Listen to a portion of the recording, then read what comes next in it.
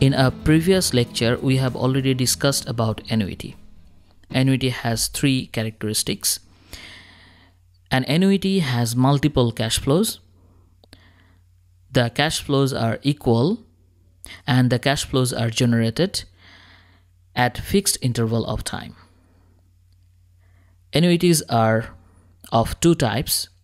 One is the ordinary annuity and another one is annuity due. In this lecture, we are going to discuss the difference between ordinary annuity and annuity due. An ordinary annuity generates cash flows at the end of periods. If we look at the cash flow timeline, I want to remind you that the point zero is actually the beginning of year 1 and the point 1 is the end of year 1. Similarly, point 2 is the end of year 2 and where is the beginning of year 2? That is the point 1. Okay, so as I have said, in case of ordinary annuity, the cash flows will be generated at the end of year 1, at the end of each year. So let us try to see when uh, which cash flow is the year 1 cash flow?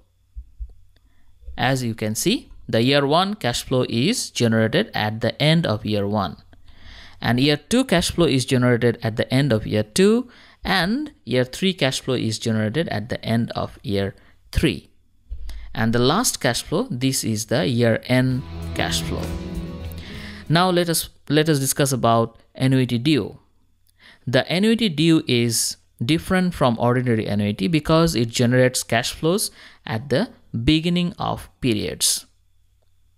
So if you if you look at the timeline cash flow timeline again year 1 cash flow is generated not at the point 1 but at the point 0 why?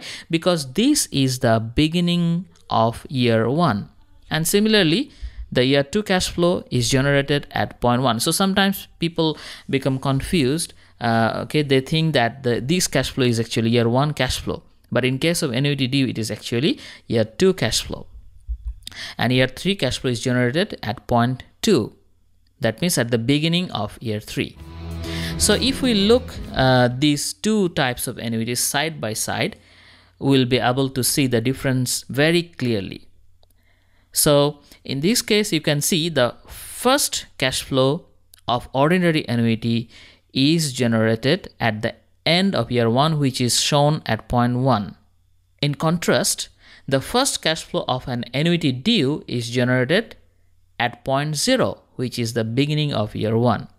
And you can see the last cash flow of ordinary annuity is at point n for the for this annuity and for the similar annuity but only because it is an annuity due the last cash flow will instead be in year n minus 1 at point n minus 1 so although this is n minus 1 uh, it is showing at point n minus 1 but it is actually the cash flow of year n which is generated at the beginning of year n.